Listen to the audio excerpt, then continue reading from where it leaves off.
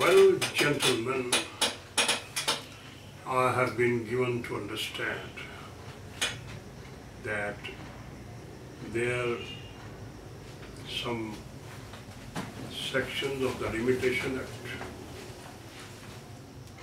are missing from the page. It is perhaps due to unforgetfulness of the boy operating it.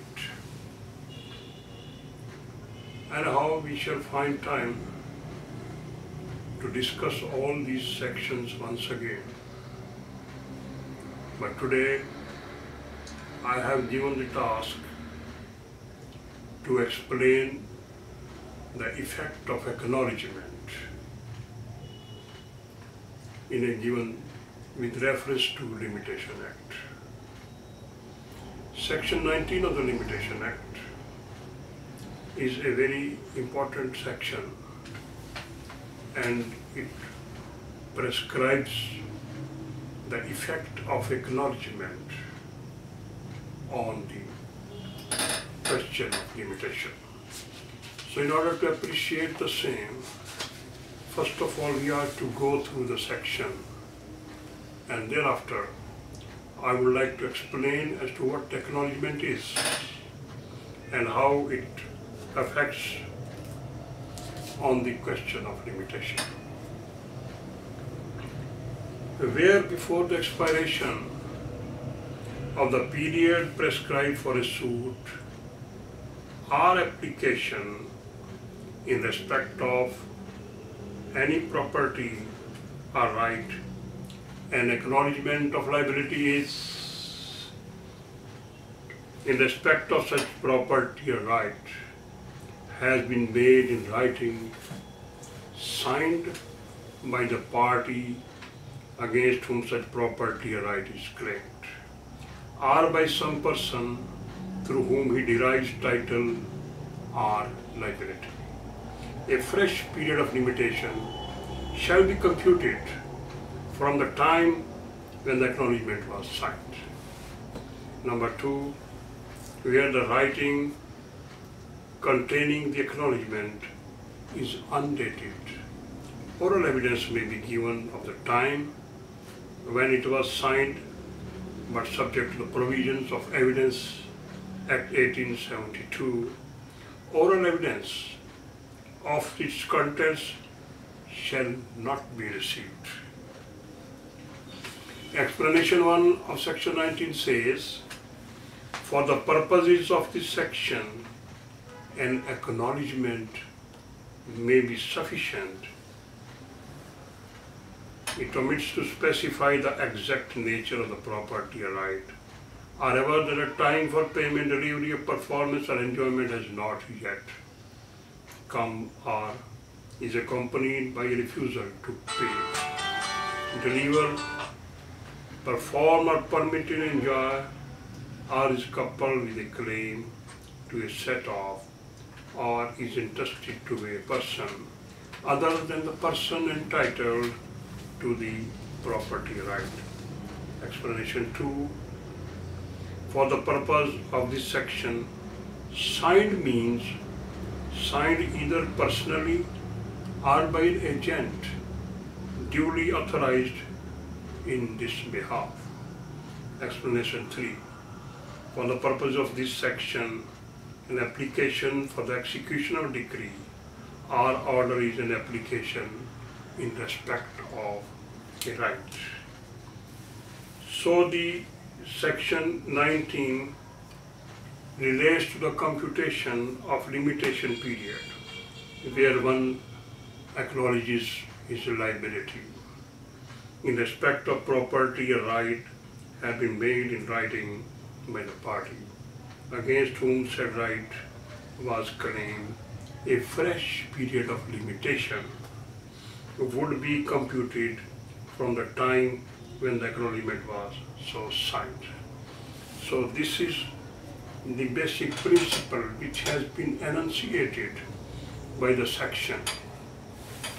So in order to understand the acknowledgement, we are to see as to what are its dictionary meaning, and what is actually meant by acknowledgement and how far it is applicable in a case of limitation. So far as the ordinary dictionary meanings are concerned, this question was also decided in DOASA 2004 YLR, page 690. I'm going to read this. To acknowledge is to admit, affirm, declare, testify, or own as genuine. According to Chambers English Dictionary, acknowledgement means recognition, admission, confession, thanks, and intimation of receipt. According to the concise Oxford Dictionary, acknowledgement means act of acknowledging thing given or done in return for service, message, etc. Author's statement of indebtedness to others. So these are the meanings given to acknowledgement in the ordinary parlance. But we have to go ahead to understand its meaning. These meanings related to the ordinary parlance and the dictionary meanings are usually part of general language. Part of general language means that they are ordinarily used in a particular manner, in particular meanings, for particular purposes. But it is stated by the jurists that words have no meanings.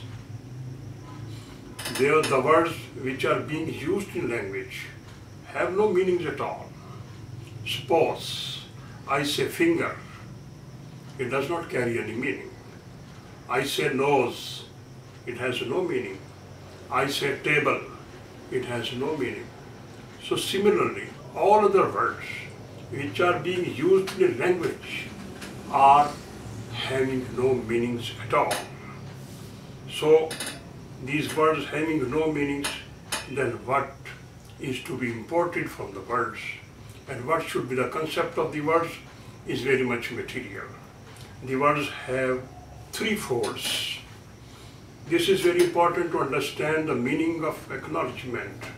What are these three folds are. Number one, the original concept of the word. Number two, depiction of particular aspects through a word. And number three is its hidden meanings. So whenever we find a word in a language, it has three angles and three dimensions and three concepts. Number one is the original concept which is ordinarily used in the language. Whenever a body talks about a word, it, this word carries certain picture in the mind of the listener. So the picture which is depicted in the mind gives some meanings to the word. So these are known as the original concept. Whenever a person makes a statement, the other person hears there too, he gets some picture from it. So other in other words, the words and the sentences are reflected in the mind of a man so in their original concept. But sometimes there is depiction of particular aspects of a word. So it is very important that what is the seat of a word and under in what meaning that word is being used. So there are certain meanings of the words which are hidden therein. So every word has three types of concepts. When a language adopts a word as its part, it is vague, vague in the society with its original concept. In the ordinary society, by the layman, the word has general meanings, and those general meanings carry with them the original concept of the word. And thereafter, if we go ahead in a very technical and very scientific manner. We are to understand a language in its true import, in its true sentences, and in its true meanings. Sometimes a word of any other language is imported, then a difficulty arises. Sometimes a word, when imported from one language to the other, in this situation, it carries only one idea. Now it is to be explained that a word having several meanings in its own language, when imported from one language to the other language, it is not imported with all words. It is not imported with all meanings. It is not imported with all concepts, but it is on, it is imported carrying only one meaning, and those meanings are used in a particular way. So whenever a word of one language is imported in the other language, it does not carry all its meanings, whether original or hidden, apparent or not. So it will carry only one meaning. So it shall be used in a particular and specific manner.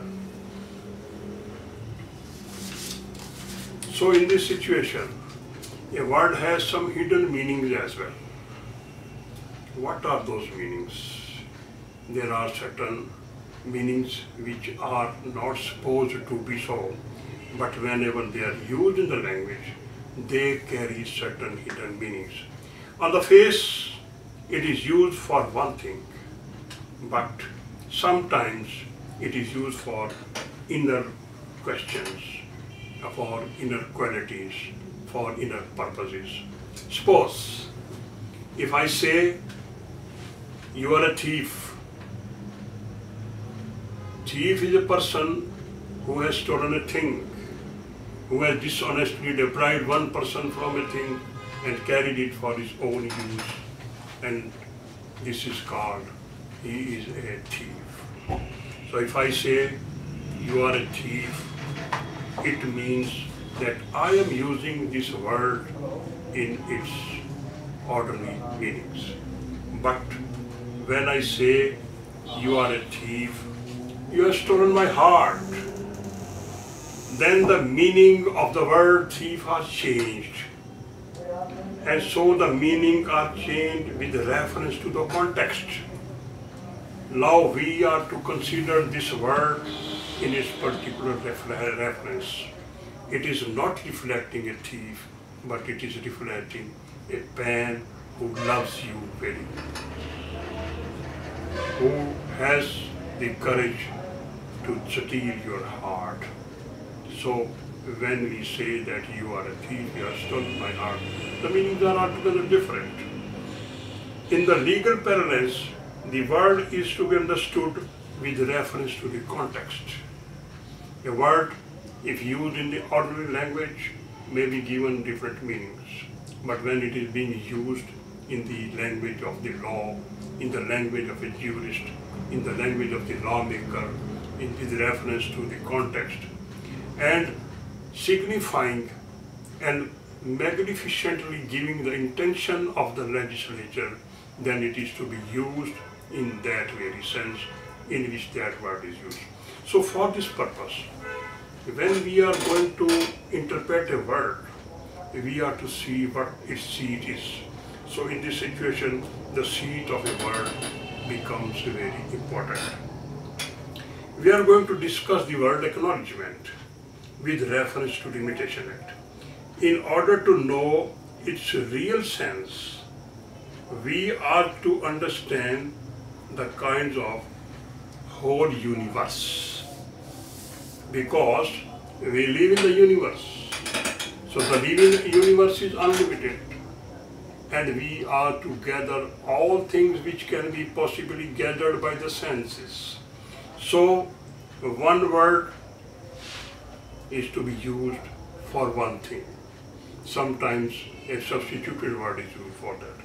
So when we are discussing all the things in the universe, we find a particular aspect of the word. So when being student of law, we are going to know the meaning of a particular word, especially when we are missing acknowledgement and its effect.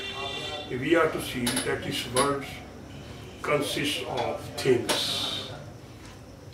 And, uh, and the second word is the reflection of the universe. So at one and the same time, we are having two words. One word is the universe and the other word is the reflection of the universe. All reflections of the universe are not available to us, but we are able to gather the reflections through our senses. So there is a relation between the word which are in the world, the words which are in this world, and the words which are reflected in our mind. So there is a relation between the two through five senses. So our five senses are meant to gather the material from the universe to the extent to which they are capable of doing it and then transmitting the same to our mind. But when we come to this matter, so we find a relation between the senses. When a matter relates to a thing which can be seen, it should be of the person who has the sense of seeing it. But when a matter relates to a thing which can be heard, it should be of the person who has heard it. But if it relates to a matter which can be perceived, it should be of the person who has perceived it. So the senses have a great relation with our mind and with the universe. The senses observe all the things from the universe and then transmit all the things in our mind. What happens in the mind? There is a hidden reality in every mind based upon the con- his concept which was came into being on the basis of his childhood in the hands of mother. Number 2 education in the school and college. Number 3 the atmosphere. And number 4 the- his genetics so all these four things affect his mind and create a hidden reality therein but when, with the help of senses, we gather this reality out of the universe and transmit it to the mind, there it has, this reflection has to face the hidden reality. That hidden reality never allows anything against its concept. So if the outer world gives him effect, and the hidden reality coincides with it. And when it coincides with it, then they are one and the same thing. So we can say that the mind has accepted what was in the outer world. If there was an agreement in the outer world and it is reflected in the brain by the senses, then the hidden reality, if accepts it, it shall mean that it has coincided with the outer world. Now the thing which was available in the outer world was transmitted in the, in the inner world and its reflection was in consonance with the outer world. So there are two aspects. One is to transmit the thing from the outer world to the inner world.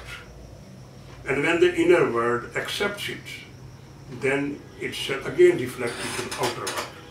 So when after accepting it as a fact, or accepting it as a real reality, or accepting it as a phenomenal reality, or accepting it as a perceptive reality, it has the capability and authority to reflect it again out in the outer world. So for the purpose of giving it to the outer world, it has to use certain words. It has to use certain language. So when uh, the reflection of the outer world goes in the inner world, and there it finds place and acceptance before the hidden reality, then it is again rebounded in the outer world. So this rebound is in fact an acceptance of the person which was already available in the outer world. So whatsoever was in the outer world shall be deemed to have been acknowledged by him. So in this context, I would like to say that acknowledgement is the acceptance of those factors which were available outside.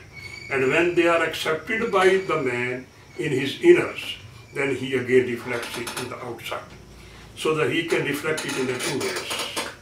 Number one, by the verbs, by his words of mouth in the language. And second, in writing. So when he is giving these words with his language, then it shall mean that he is transferring whatever he had accepted in his mind.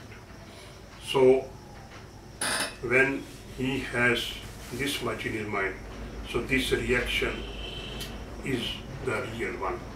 Now I am going to explain acknowledgement with reference to the limitation act. When the observation and experience of the author of the other world or the outer world is accepted by the inner world, it may coincide with the hidden reality. And then when it is coinciding with the hidden reality, it shall come out as an admitted fact, as a confessed fact, as an accepted fact, or as a genuine acceptance and declaration. Or in the other words, we can say that he is testifying whatsoever was in his mind. So this is an acknowledgement. Now this acknowledgement is coming out with the words of mouth. But the Lord does not recognize it because the words of the mouth vanish away in the atmosphere. At one time, a man says that I have accepted this situation. Then he forgets, or he wriggles it out, or backs it out.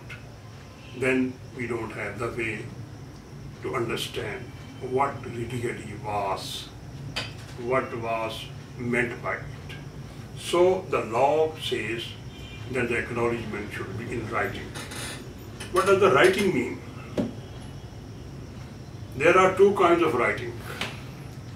Number one is the use of the language. You write a thing in a particular language. That may be English, that may be Urdu, that may be another language. But you will be writing in a particular language, depicting and reflecting whatsoever was in your mind, acknowledging those facts which were required to be admitted. And there is another soul. There can be visible representations. You can acknowledge the things by signs and visible representations. And if visible representations are signs, amount to acknowledgement of a fact, reflecting the mind of the person who is coinciding with the facts, and who is willing and ready to accept it, then the signs and visible representations shall be deemed to be the writing, so the acknowledgement shall be deemed writing.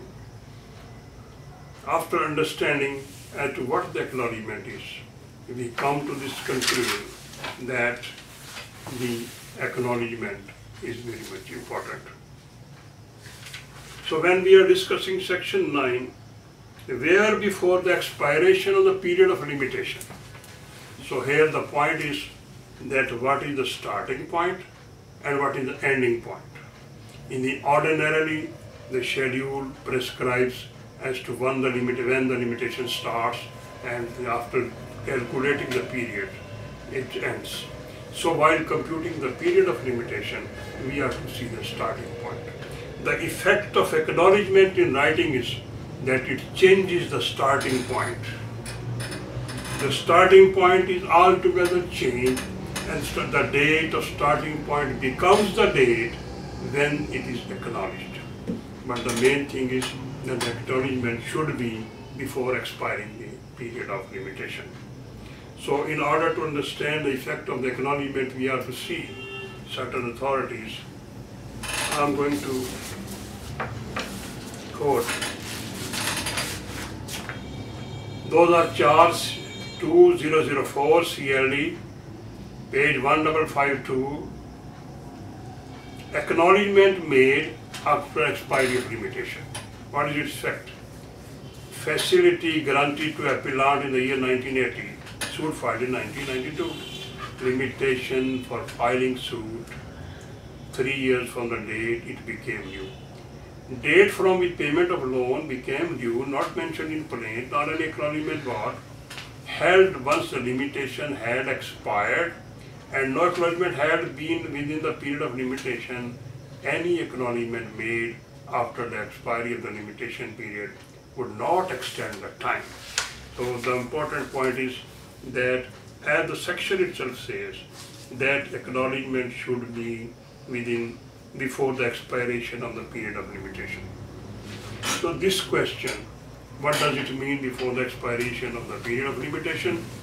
And where are the circumstances? There are the circumstances when even after the period of limitation, it can be a good acknowledgement. We shall go through it when we shall be studying section 20. So what is the distinction between section 19 and 20 and how far they are, have the combined effect? It may be studied in at a later stage. So up to this time today, we have to see that section 9 give the effect of acknowledgement in writing. So the acknowledgement should be in writing. When it is in writing, it gives us a new starting point. And when it gives us a new starting point, then the limitation will start from that time when the writing of acknowledgement claim comes into existence. So I think we have covered a part of section 19 today and the rest of this section as required by gentlemen shall be gone through, explained, studied and discussed inshallah on the second occasion. Bundle of thanks